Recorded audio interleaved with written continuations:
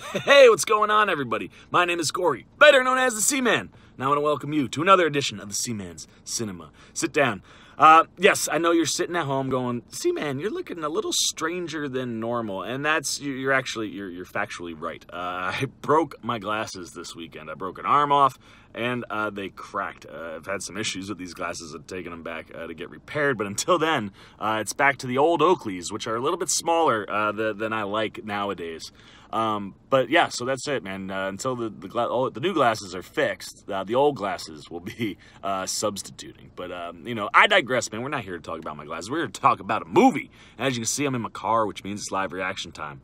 Um, and I was really intrigued to see uh, this movie because uh, of its director. Um, you know, I, cast that I was very excited about. I really liked the casting and, our two leads. Um, but when I heard Eli Roth was doing a, a PG like kids movie I was very interested because, I mean, Eli Roth, you know, if you've ever seen Hostel, you know Eli Roth doesn't really play in kid friendly territory. Um, but I must say, I thought Eli Roth did a pretty good job of delivering a very 90s feeling Disney Channel kind of movie, right? One of those movies that, like, it, it feels weird to watch because you can very clearly tell it's it's, it's intended for kids. Um, you know, the story has you know some plot holes and things in it that fall that you kind of get accustomed to in a kids movie. Um, this one I thought had a few too many of those, and it was clunky at times. Um, but overall, man, it, it kind of mixes this vibe of like really adult feeling themes um, that are blended into a movie that feels like you know something you'd watch on Disney Channel. And that's what those movies like Hocus Pocus or Halloweentown are really good at doing, especially in the horror genre with kids. Uh, it is taking you to places that make you go, I don't know if that's okay for a kid. That's a little grown up but it still works. Uh, and for the most part, outside of one scene, there's one scene in here I thought was a little more PG-13. Like if I had like a seven, eight, nine-year-old kid, I don't know how comfortable I'd be with this one scene in the movie. But other than that, everything else kind of fits exactly the way it would in something like Hocus Pocus. Um, and I really dug that. Um, now, like I said, it's got some plot holes. It's a little clunky. gets kind of boring at times. It does leave some things unanswered and kind of on the table. Uh, but for the most part, you know, it has some nice twists and turns toward the end. And by the time we get to the ultimate climax of the movie, I, I really enjoyed where it took us. Um, and, a lot of that it has to do with its leads. Uh, Jack Black, just the perfect person to play the weird uncle who's a warlock. Um, you know, uh, he and he really amps it up, man. You know, he's kind of over the top, and everything about his character I thought was working uh, within the realm of a kids movie. Um, but then you get Cate Blanchett, and Cate Blanchett's story kind of has some darkness around it, and a lot of her one-liners, her and Jack Black, their banter is phenomenal. They play off each other so well, um, like where they're like these old friends that like just are constantly ribbing each other.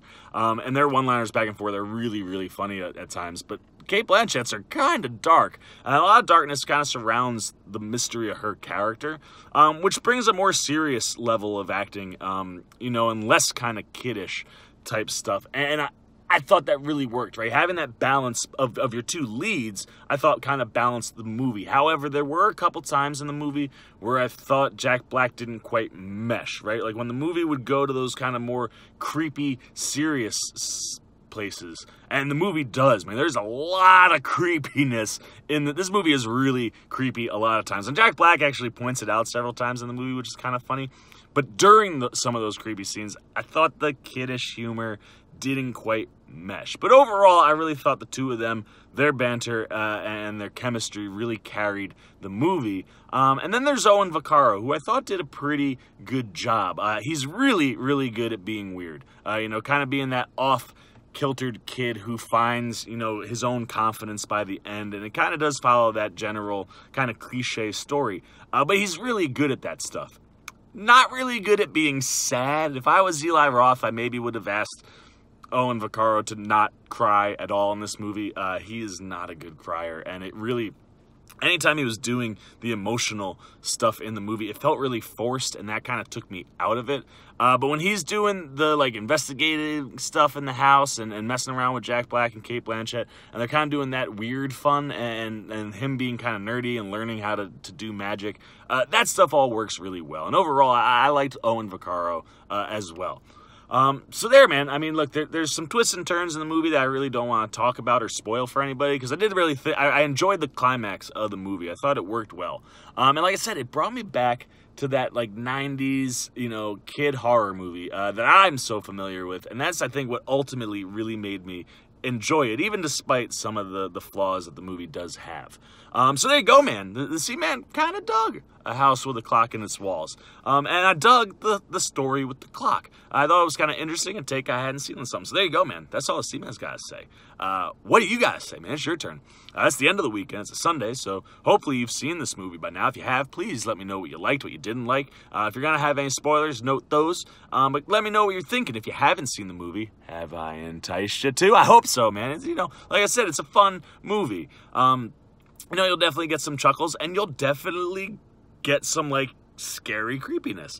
Um, so let me know if you're if you're, we want to go check it out or if you just have no interest whatsoever. Leave all that down below. As always, if you enjoyed this video, please give me a thumbs up. And if you're new here, hit that subscribe and little bell so you get alerts every time the C-Man makes a new video. Uh, for the C-Man Cinema Sit Down, I'm the C-Man. I'm signing off. Peace! Oh, hey, you guys are still here. Well, since you are, you might as well check out a different video like this one or this one. And if you haven't yet, would you please hit that subscribe button? C-Man, peace!